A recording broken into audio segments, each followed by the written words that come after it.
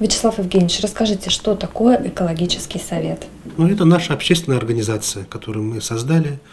Общественная организация, ну, я могу как сказать, э, общественные организации разные бывают, да. Ну, вот э, экологические организации, их, в общем-то, я бы сказал бы, их очень немного, есть, и которые есть, они, я считаю, что они, в общем-то, не вполне соответствуют своему названию. Мы пришли к тому выводу, что не только экологи, но и очень многие люди говорят о том, что уже возникла угроза существования человека. Поэтому, конечно, мы должны приносить в гражданское общество знания. Ну и, конечно, и помогать и власти, помогать администрации, ни в коем случае не конфликтовать о том, что мы должны рассказать, что мы должны делать, чем волнует наше общество. Ну, естественно, и контроль. Вячеслав Евгеньевич, расскажите, какие специалисты работают в экологическом совете? Я попытался объединить людей разных спе самых специальностей. Некоторые из них работали в исполнительных органах власти. У нас есть строители, у нас есть руководители, у нас есть э, и экологи есть, есть биологи есть, есть лесники. Наша организация может провести и общественную экологическую экспертизу. Настоящая экологическая экспертиза, согласно закону, она должна э, пройти определенные этапы своего формирования, э, чтобы они ее сделали, и подписи экспертов. И, под, и эксперты общественной экологической экспертизы несут такую же ответственность, в том числе и уголовную, как и эксперты государственной экологической экспертизы. Можно привести пример нашей концессии. В свое время мы проводили расчеты, когда у нас были угольные котельные внутри самоквартальные, и когда мы их убрали, у нас резко снизилось заболевание, в том числе и онко за, за, заболевание. Газовые котельные, у них сажи нету, но сажи не самый страшный фактор. Тот же бенспирен, он выделяется как при сжигании угля, так и при сжигании газа. И он не имеет ни цвета, ни запаха.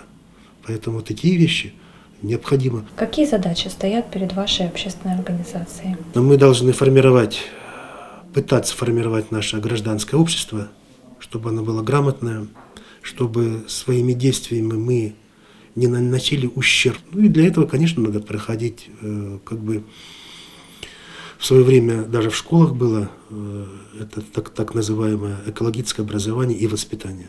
Ну вот, вот этим мы как бы и хотели бы и заняться. Вячеслав Евгеньевич, как вы оцениваете экологическую ситуацию в нашем городе и какие первоочередные проблемы видите? Я могу сразу сказать, что никакой экологической катастрофы в городе Берске нету. Но есть, конечно, проблемы, которые, которые у нас, ну, которые необходимо решать.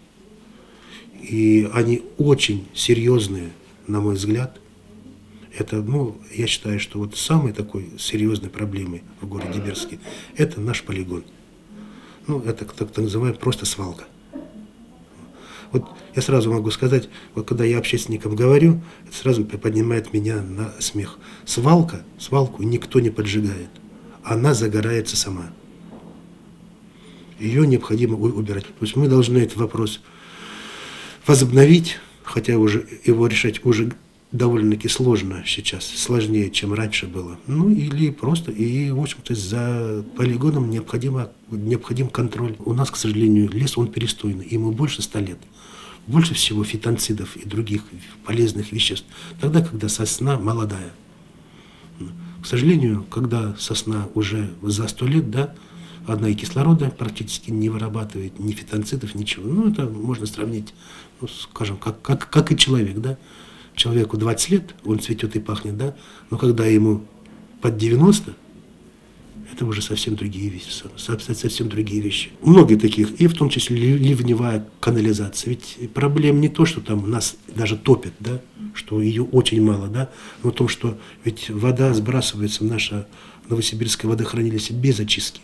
Там не только нефти, там очень масса э, вредных веществ, да, хотя бы элементарные очистные сооружения там должны быть. Для того, чтобы сберечь наше человечество, сберечь наше здоровье, да, необходимо сберечь и природу. Мнение граждан города Берска для нас очень важно.